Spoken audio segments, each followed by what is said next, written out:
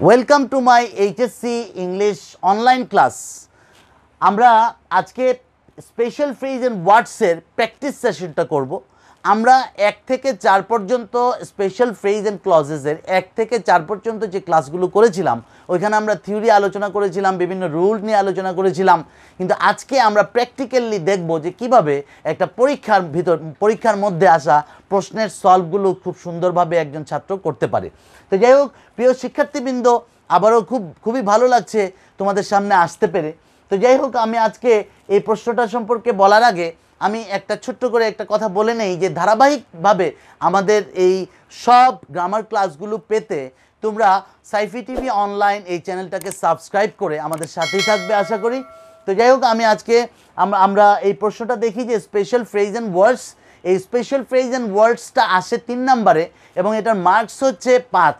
প্রত্যেকটা প্রশ্নের জন্য হাফ মার্কস করে দেওয়া হবে।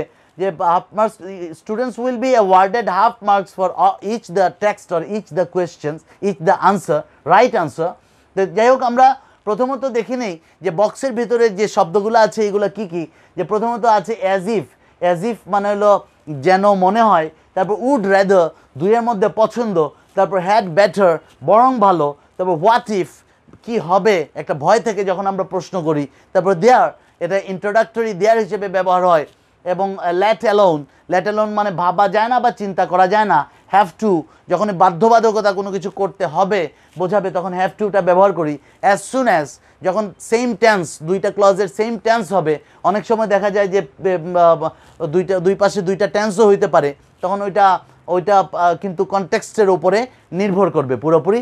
ওয়াজ বোর্ন জন্মগ্রহণ করা অর্থে এবং ইট ইটও ইন্ট্রোডাক্টরি ইট এটা আবহাওয়া, দূরত্ব, সময়, তারপর এগুলোর ক্ষেত্রে আমরা ব্যবহার করি। আমরা একটু পড়ে নেই এ টু জেড আমরা বাক্যগুলো একটু পড়ে নেই পরে পরে সলভ করার চেষ্টা করি। যেমন প্রথম বাক্যটা এ we pay a visit to Cox's Bazar then the Sundarbans আমরা কক্সবাজারে ভিজিট কক্সবাজারে ভিজিট করি দেন দ্য সুন্দরবন সুন্দরবন থেকে। তাহলে এমন একটা কথা এখানে আমাদেরকে লিখতে হবে এমন একটা স্পেশাল ফ্রেজ আমাদেরকে এখানে ব্যবহার করতে হবে, যেটা দুইটা কাজের মধ্যে একটাকে অধিকতর প্রাধান্য দেয়। এই ক্ষেত্রে আমাদের রাইট আনসারটা হবে উড রেদার তাহলে আমরা বল, আমরা এখানে লিখব we would rather pay visit to Cox's Bazar then the Sundarbans আমরা কক্সবাজারে ভিজিট করা থেকে, সুন্দর, সুন্দরবনে ভিজিট করা থেকে সুন্দরবনে বেড়াতে যাওয়া থেকে কক্সবাজারে বেড়াতে যাওয়া থেকে অধিকতর পছন্দ করি।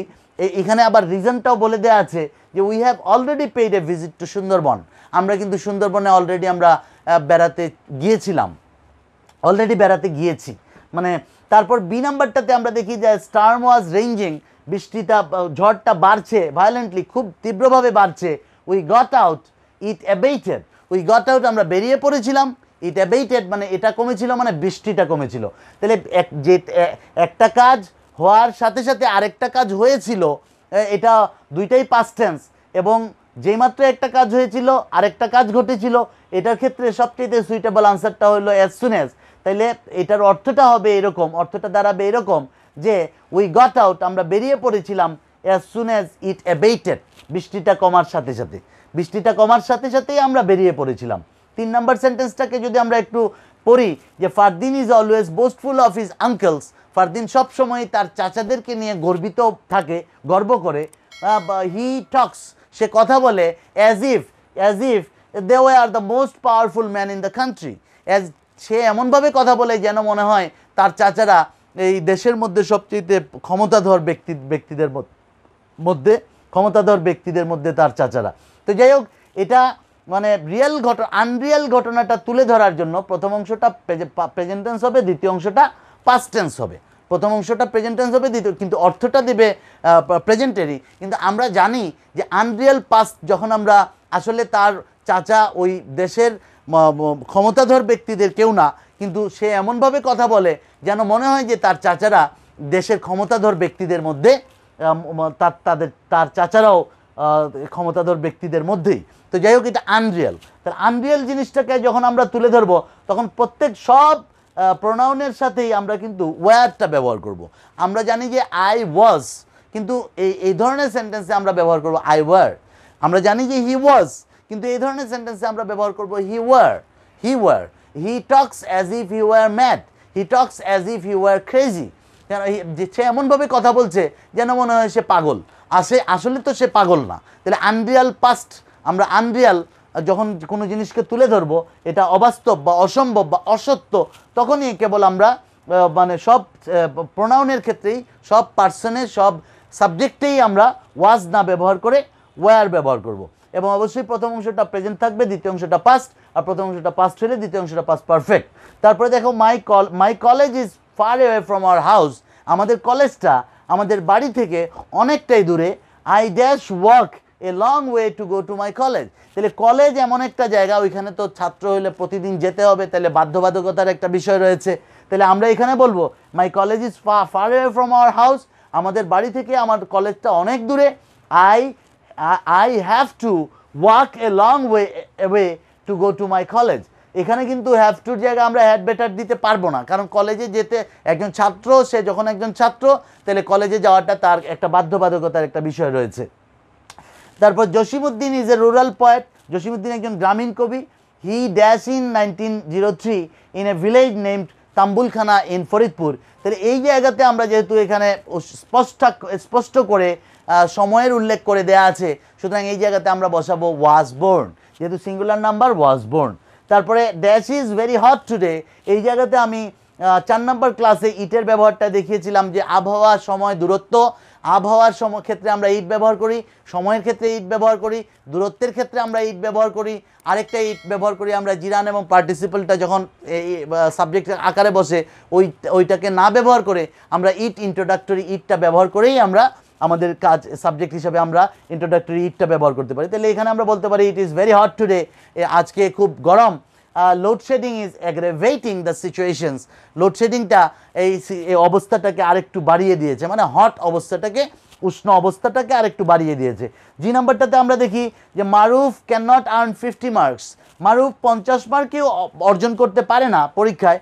এইটি মার্কস তাহলে ক্যানট রয়েছে মডেলের পরে একটা নেগেটিভ রয়েছে নেগেটিভ একটা আইডিয়া রয়েছে এখানে। এবং সহজ কাজটাই করতে পারে না। কঠিনটার কথা তো ভাবা যায় না বা চিন্তা করা যায় না। তাহলে এখানে আমাদের উত্তরটা হবে ল্যাট অ্যালোন তাহলে Maruf cannot earn fifty marks let alone eighty marks he is a student of average standard সে গড়পরতার একজন ছাত্র, সাধারণ মানের একজন ছাত্র। Dash are many mangoes mango trees এখানে এই যে অক্সিলারি ভার্বের ঠিক পরেই সাবজেক্টটা চলে গেছে এবং এই সাবজেক্টটাকে ইন্ট্রোডিউস করে দেওয়ার জন্য আমরা এখানে ইন্ট্রোডাক্টরি দেয়ারটা ব্যবহার করব। There are many mango trees around our home মানে এটার অর্থ এরকম না যে এখানে অনেক আম গাছ আছে। বাংলা যখন করব, তাহলে আমাদের বাড়িতে অনেক আম গাছ আছে। আমাদের বাড়িতে অনেক আম গাছ আছে। তারপরে কনটেক্সটাতে রয়েছে কি? They they give us very sweet mangoes এগুলো আমাদেরকে অনেক মিষ্টি আম দেয়। তারপরে আই নাম্বারে আমরা দেখি যে Faiyaz seems to be weak ফাইয়াজকে দেখে মনে হয় অনেকটাই দুর্বল। He dash consultant experience doctor যদি বলতাম আমরা ফাইয়াজের জ্বর হয়েছে, যদি বলতাম আমরা ফাইয়াজ এর একটা অসুখ হয়েছে মারাত্মক, তখন বাধ্যবাধকতার একটা বিষয় ছিল। যেহেতু সে একটু উইক মানে দুর্বলতা অনুভব করছে, তাহলে সে তার বরং ভালো। তাহলে সাবজেক্টও আছে ভার্বের প্রেজেন্ট ফর্ম আছে, এই জায়গায় আমরা ব্যবহার করব। He had better consultant experience doctor তারা একজন ভালো ডাক্তারের সাথে কনসাল্ট করা বা পরামর্শ নেওয়া বরং ভালো। তারপরের অংশটা, তারপরে একদম শেষ এই যে নাম্বারটাতে আমরা দেখি দ্য রিভার ইজ কাম নদীটা শান্ত dash we swim in the river আমরা অ্যাজ ইফ এজ হোয়াট ইফের নিয়মে আমরা পড়েছি যে এটা একটা প্রশ্নবোধক বাক্য এবং এখানে সাবজেক্ট থাকবে ভার্ব থাকবে এবং কি হবে, একটা ভয় থেকে প্রশ্ন। তাহলে দ্য রিভার ইজ কাম নদীটা শান্ত। What if we swim in the river কী হবে যদি আমরা নদীতে সাঁতার কাটি? যদি আমরা নদীতে সাঁতার কাটি। তো প্রিয় শিক্ষার্থী বন্ধুরা, এই হলো আমাদের এক্সারসাইজ থেকে আমরা বোঝার চেষ্টা করব। বাসায় বসে বসে আরও বেশি আরও বেশি এক্সারসাইজ করব এবং exercise practice makes a man perfect কথাটা যেমন সত্য, এই কথাটা আবার মিথ্যাও। যেমন আমরা যদি ভুল প্র্যাকটিস করি, তাহলে কি হবে? ভুল প্র্যাকটিস করলে তো আমাদের ভুল জিনিসটাই আমাদের মানে আমাদের মধ্যে গেঁথে যাবে, আমাদের মধ্যে ভুল জিনিসটাই আমাদের মধ্যে রয়ে যাবে। তাহলে practice makes a man perfect কথাটা যেমন সত্য, আরেক দিক থেকে চিন্তা করলে কথাটা মিথ্যা, কারণ কেউ যদি ভুল প্র্যাকটিস করে, এক্ষেত্রে কি হবে? তো যাই হোক, আমরা বাসায় বেশি বেশি করে প্র্যাকটিস করব বোর্ড কোয়েশ্চেনে কী কী আসছে আমরা এগুলো দেখব এবং ভালোভাবে প্রিপারেশন নেব পরীক্ষার জন্য। আমি আশা করি যে তোমরা যদি এক থেকে চার পর্যন্ত রুলসগুলো ভালো করে দেখো এবং এই প্র্যাকটিসটা যদি সুন্দর করে করতে পারো, তাহলে তোমাদের স্পেশাল ফ্রেজ অ্যান্ড ওয়ার্ডসে আর কোনো সমস্যা থাকবে না, থাকার কথা নয়। সবাইকে ধন্যবাদ জানিয়ে এখানেই আমি আমার ক্লাসটা শেষ করছি। ধন্যবাদ সবাইকে।